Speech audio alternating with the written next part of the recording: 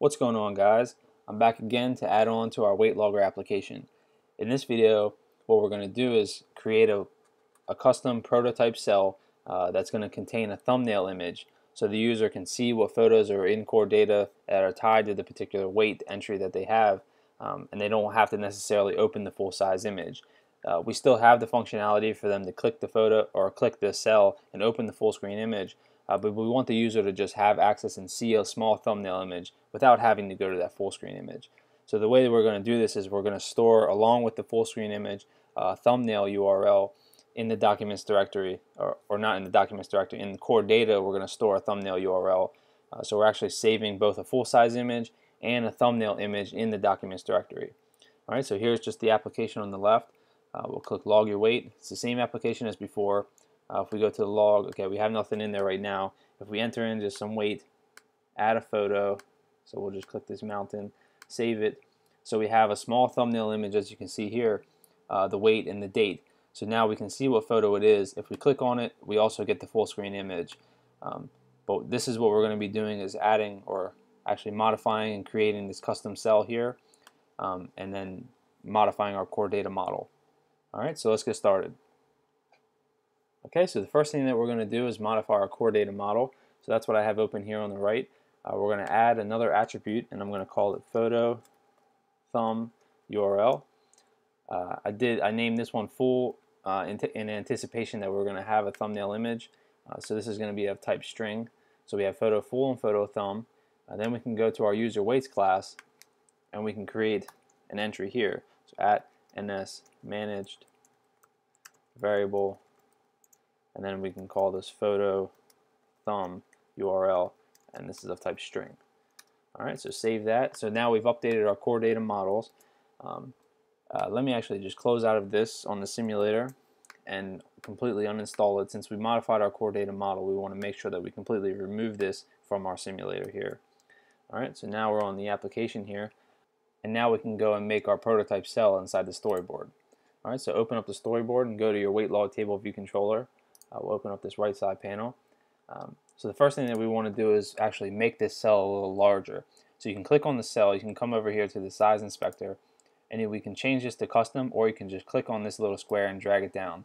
Uh, I'm going to drag it down to say 75, and you can see it changes right up here. Now before we continue, what I'm going to do is go into the, the weight log table view controller, and I'm going to implement one more method in here, uh, a delegate method, which is called uh, should be height for row at index path right here. So we're going to set up the height inside the table view controller as well. So we go back here and we'll implement this method here.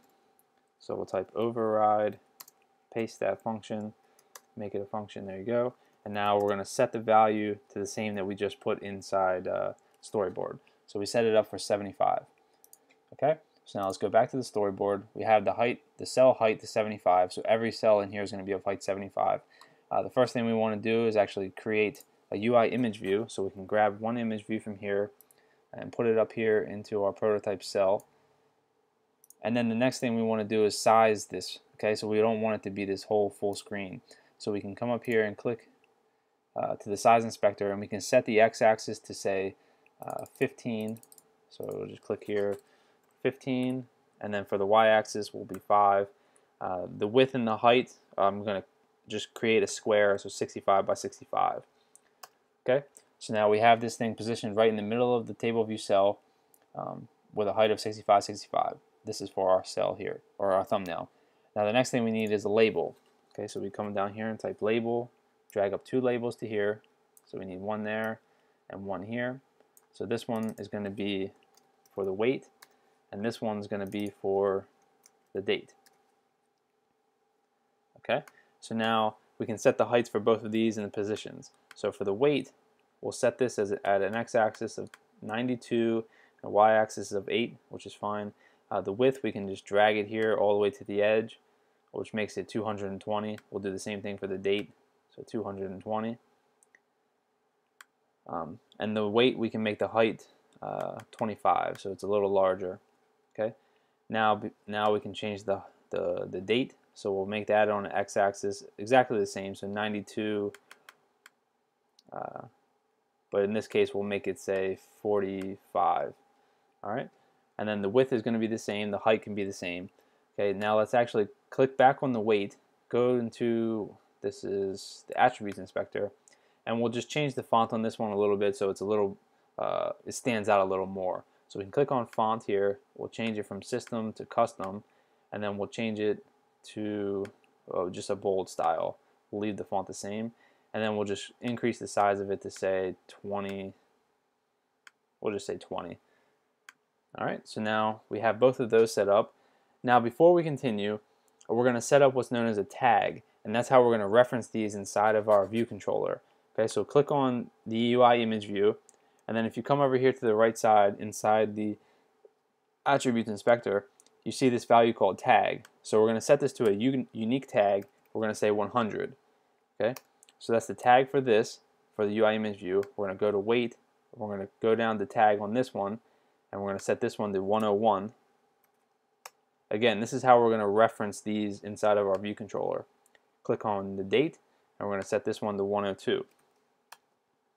Okay.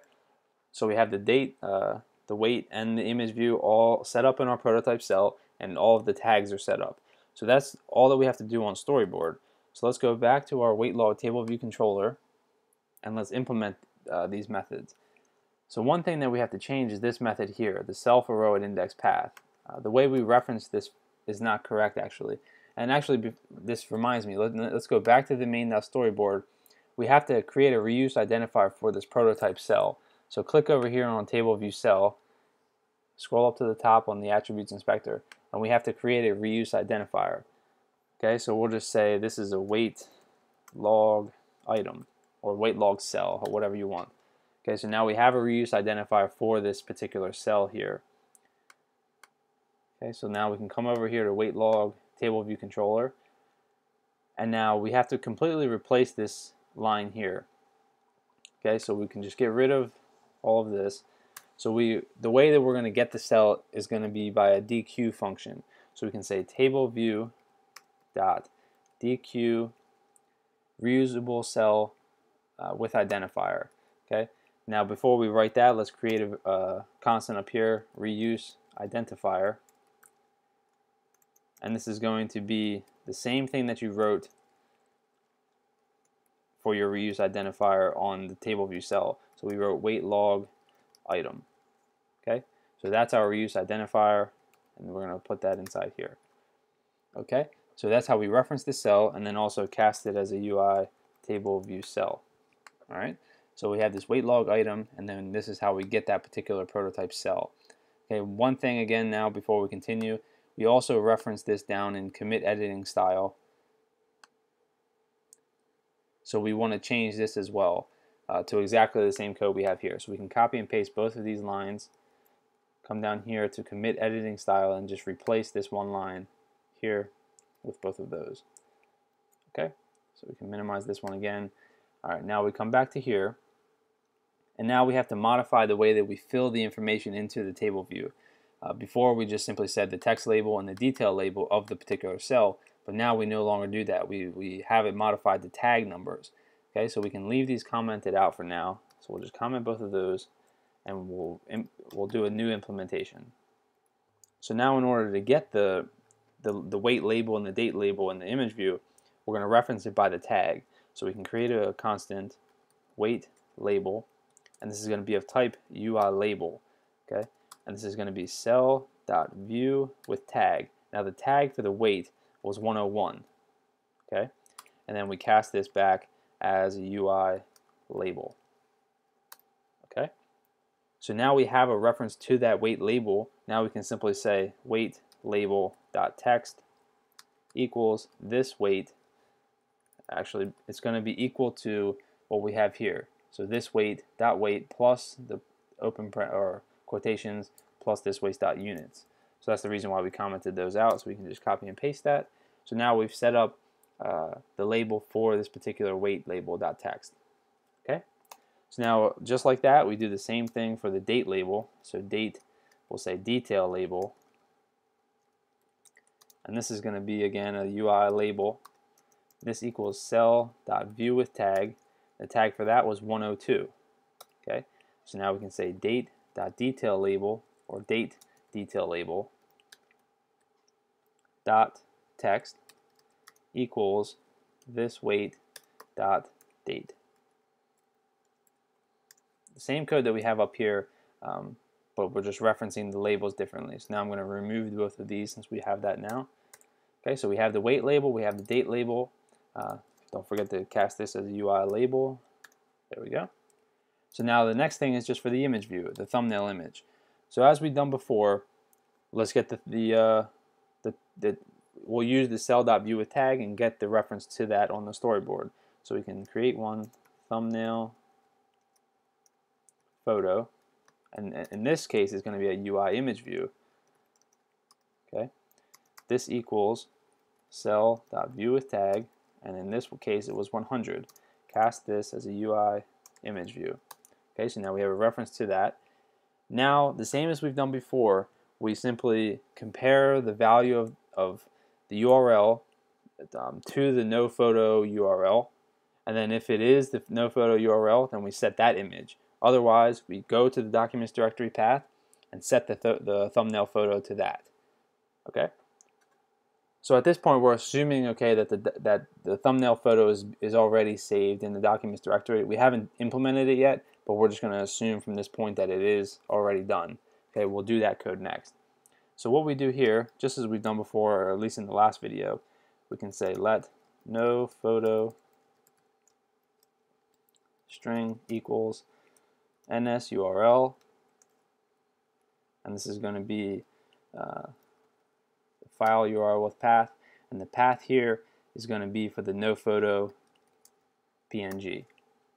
Okay, and then we again say dot absolute uh, let me see here.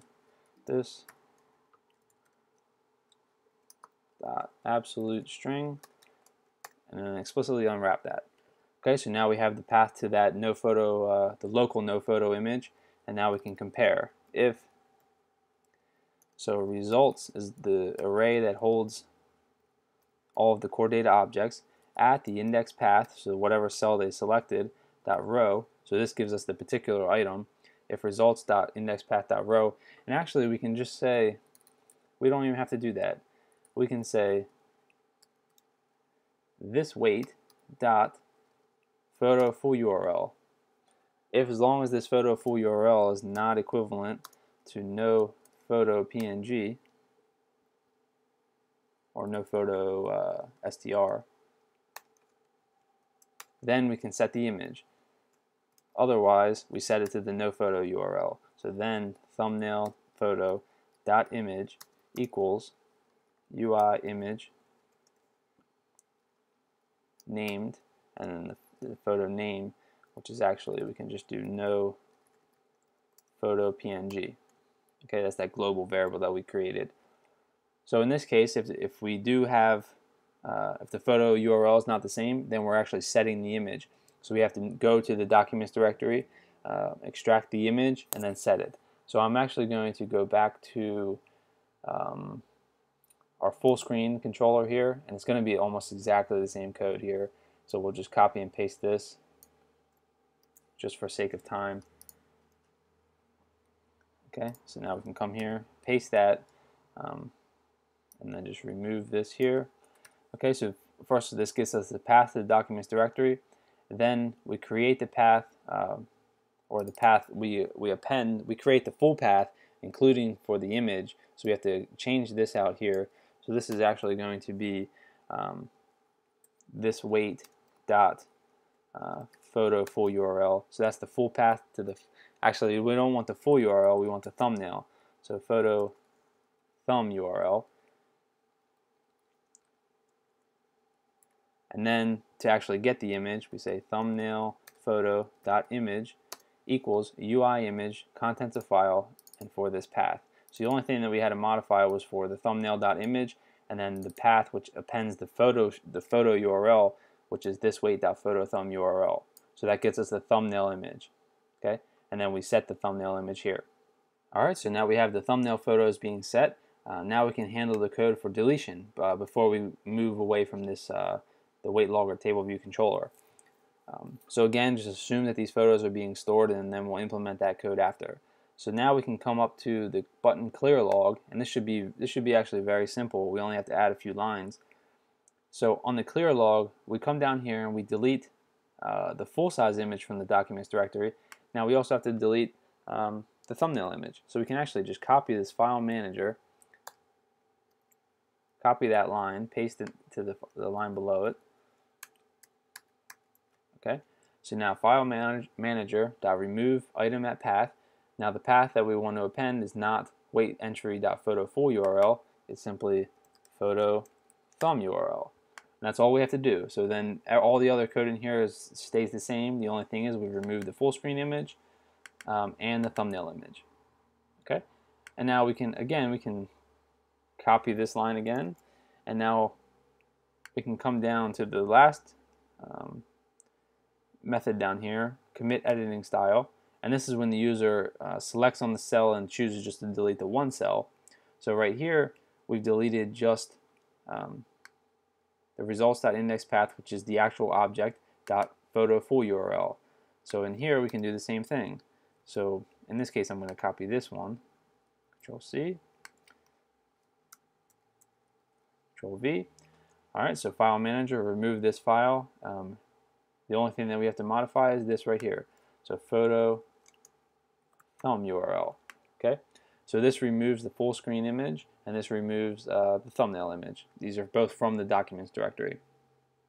Okay, since the paths are the same, the only thing that we're going to be doing is saving um, we're going to be actually I should have mentioned this earlier uh, we're going to be saving the full screen image and the thumbnail image both in the documents directory uh, the only thing that's going to differ is the name of the file one's going to have underscore thumb.png and the other one will just be the current date okay so they're both in the same directory which is why we can simply just um, use the same code here. Go to the documents directory and then all you have to do is, is delete uh, the extra extension. That's it.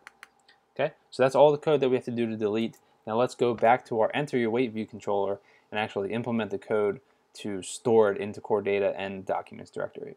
Okay, so come over here to your enter your weight view controller. Um, and now we can come down to the UI image picker controller here, the did finish picking media with info. Um, so we have here saving the full screen image via the PNG data. Now the only thing that we have to do is actually save a thumbnail image. Okay, so it's going to be almost the same code um, but we're going to be having a thumbnail image. Okay, so let's first create the thumbnail image from the original image. Okay, so we're actually going to create a thumbnail image using the function that we have here, scaled image with image. So we're creating two photos. We scaled down the image once here for our full size image. Then we're going to scale down again uh, this new image down one more time just for our uh, for our thumbnail image, just to reduce the size. So we can create thumbnail. This is going to be a UI image. And now we can say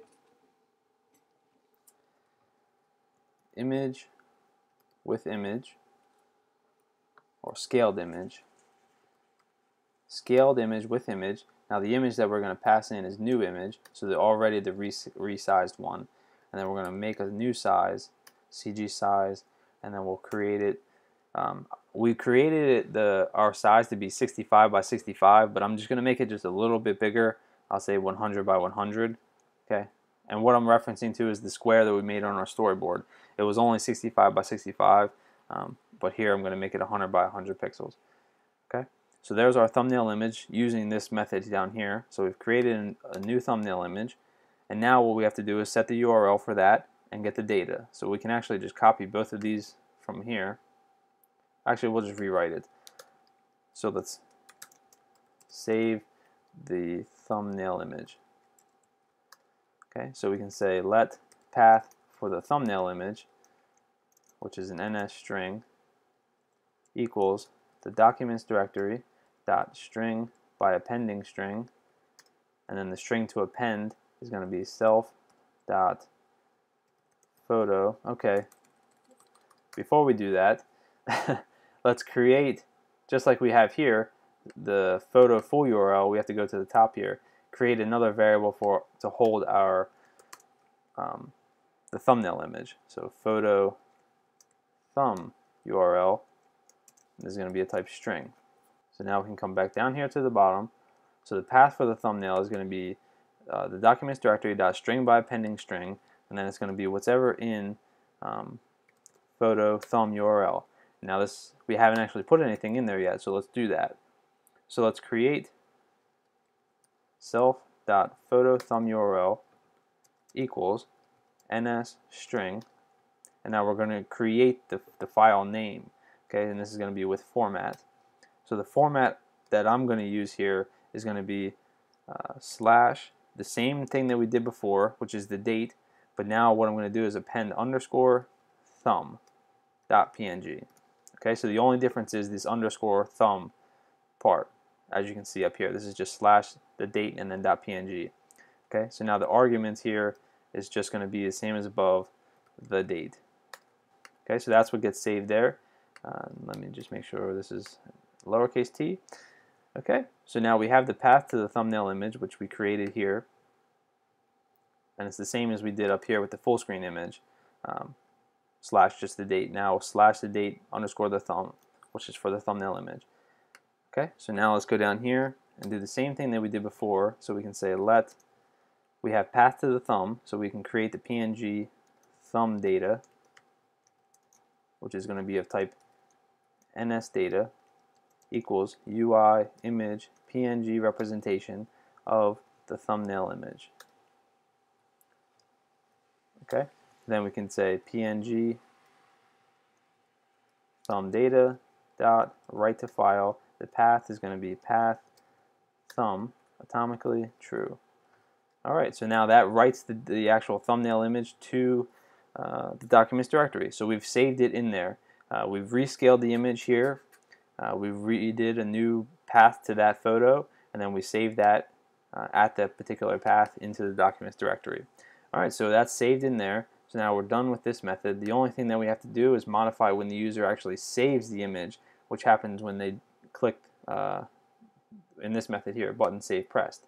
So the only thing that we have to do is actually uh, modify two, these two lines here. So whenever we save uh, the URLs, into core data. So we can say new weight dot photo thumb URL equals URL. And in this case, the URL is the URL to this nophoto.png. This is when the user didn't select a photo.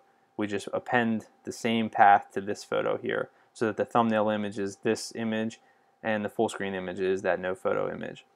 Otherwise, we say new weight dot photo thumb URL equals self dot photo thumb URL.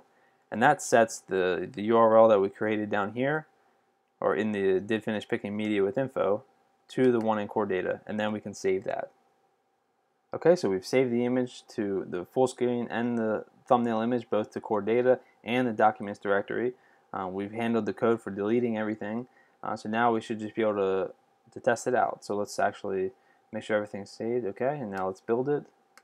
Bring it up here. Okay so here's the screen. We'll enter in a weight say 200 we'll do no photo save our weight. Now we have it in here the photo uh, preview and the weight. Let's go back and add a photo thumbnail. We'll say use one right here. Enter a weight of 12 sure save it we have the preview so that's working fine uh, let's click this okay we get the full screen image but if you notice there uh, we had two segs occur. And this is what I mentioned in the previous video if you uh, watched that one. Uh, we have two segs firing. And the reason for that, um, I know already, is if we go to the weight log table view controller, uh, we forced the seg to happen right here. Did select row at index path. Uh, so we've we we set up the seg inside storyboard from this cell. We clicked here and dragged it to here, and then we also forced it inside here. So what we can do is comment this out um, just so we have the code, or we can just delete this whole method here. I'll just comment the whole all of it out. Um, save that. Let me just rerun this code just to make sure that it was the problem. Okay, so now it's back up. We go here, go to the log. Okay, everything's being saved, so it is persistent. We click this. Okay, so now we don't have two segs firing. Um, so now we have just the full image. We can go back, click this one. We have this one, and everything's working fine here. So the app is actually complete, um, but there's one thing that I want to do to increase performance. If you run this on your phone, I'm sure it'll work fine because we're scaling the image down. just for the sake of best practices, um, which, what we should always do when we implement a UI image picker controller is actually um, push everything to the background thread and only push uh, only do things for the UI on the main thread okay inside the delegate function. Okay so I'll, I'll, you'll see what I'm talking about inside here. So if we come to the enter your weight view controller and come down to the did finish picking media with info um, we do all of this scaling of the image and setting the thumbnails all on the UI's main thread and this is actually going to tie up a lot of memory. So what we really should do is push everything to a background thread and then only only bring forth to the main thread to set the thumbnail image and then dis dispatch it. That's all that we need to do. And then we can do all this other stuff in the background. Okay, so now that's what I want to do to actually reduce the memory footprint of this uh, of this application. This is really what you should do every time you implement a UI image picker controller. Um, you should always scale the image down and then push everything to the background thread. Uh, just just best practices. So in order to do that in Swift, um, we're going to first create a, a constant called priority and we're going to set this to dispatch q q u e u e underscore priority and it's going to be default. So dispatch q uh, priority default okay? And now we can use uh, Grand Central Dispatch um, to actually push everything to the background thread. So we type dispatch underscore async Okay, so this first one, queue and block. So the queue that we want to push it to, we're going to say dispatch underscore get underscore global queue. Okay, the identifier is going to be the priority that we just set up, and the flags are going to be zero. Okay,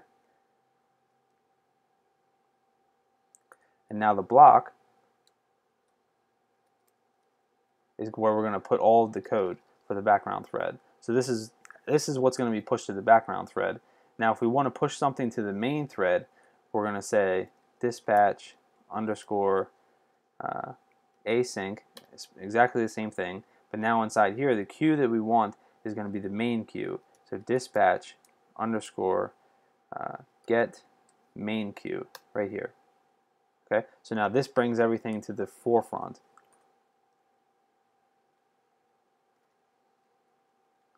Okay, so now what we want done inside the main thread, we put inside here. All right, so once we come in, once we come into this uh, this dispatch here, the first thing that we should do is do the resize of the image for the new image, which is these two lines here. So we can copy and paste this right up here. So that's the first thing that we do when we enter into this background thread. Oops. Where am I at? Okay, so that's the first thing that we do when we enter into this background thread. Now, we want to immediately, right after we resize that image, set the thumbnail image, okay? And I'm getting an error here because we're pushing this to the background thread. We have to be explicit and say self.scaled image with image, okay? So again, what I was saying was now we dispatch to the main queue, and now we can set the temporary image, which is actually the thumbnail image. So we can say self dot photo thumb, or actually it's going to be the UI image view, photo preview dot image equals the new image. So we can set the image just like we did down here. Um, not sure where we did it. Um, but, we, but we set the image here. Um, and then what we can do is say self dot dismiss. Actually, it's going to be picker dot dismiss view controller true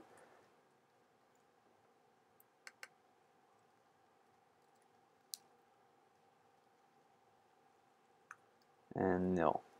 Okay, so we dispatch that to the main thread. So set the thumbnail image and then immediately dismiss that view controller. So then everything else after that is going to be on the background thread, but will already be returned to that main uh, view controller, which is the enter your weight view controller. So everything else, uh, so here's that we set the new image. So everything else that we did here can be in the background. So we can take all of this stuff here, copy that, and put it into this background thread here okay and then just delete this picker.dismiss view controller okay so this is everything else that we do we resizing the data, getting the URLs, putting it into the documents directory. This is all going to be done in the background, and we're already going to be returned to the main thread at this point. All right, I hope that makes sense. Now the only reason we get errors here is just because we need to add self dot scaled image with image. Um, there we go. So that should be everything. So let me just re-emphasize what we did here. So we got the image picker controller. This is being returned right after the user selects an image or takes a photo. We get the original image. Then we dispatch to the background thread. We scale the image and create this new image. And then the first thing that we do is dispatch to the main thread, set the thumbnail, and then dismiss that view controller. So we actually get back to that uh, the screen with the preview and the user can enter the weight and say submit or save the weight. Then everything else is going to be done on the background thread. Okay, so this is all being done as you're already returned to uh, the first view controller. All right, so this will certainly increase performance, and this is what you should do every time you implement a UI image picker controller. Scale the image and use background threads and main threads here. All right, so again, let's just test it out. Just make sure everything's running right.